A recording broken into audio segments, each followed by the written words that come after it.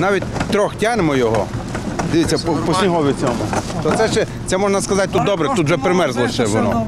Роман Фурсович працює у КТП 1728 вже дев'ятий рік. Розповідає, що цьогоріч вивозити сміття по-особливому важко. Мовляв, раніше зими були такі ж, але ставлення людей до цієї проблеми відрізняється. Що рік все гірше стає.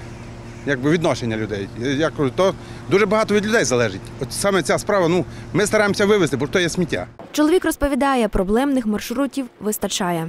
Вони кругом якби по свою складність мають. Е, Де е, от е, як взяти туди ювілейний, там, там є такі, що спуски десь, десь такі по дворах їдеш, е, а машин багато, в'їхати не можна. На своєму ж маршруті показує нам одну із проблемних ділянок, на якій вчора загруз майже на годину. Оце пробував вчора, закопали тут машину, відкопували її. І їдемо тако далі, проїжджаємо.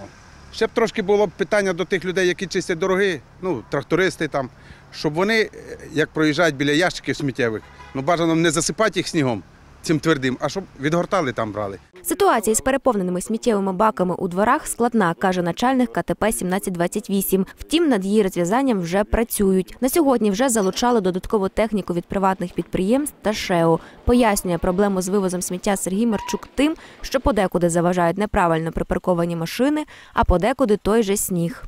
І навіть якщо машина доїжджає, е, витягнути контейнер, який важить 200 кг, по снігу, по мокрому, дотягнути до машини, тобто це забирає дуже багато часу. Ну так само машини буксують.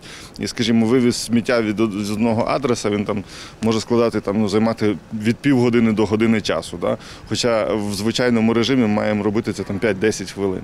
Сергій Марчук закликає містян за можливості прочистити подвір'я біля себе та паркувати машину так, аби проїзд до сміттєвих баків був ширший. Тоді каже, вивіз сміття не набуде такого колапсального стану. Іванна Власюк, Олег Степанюк, телеканал ITV.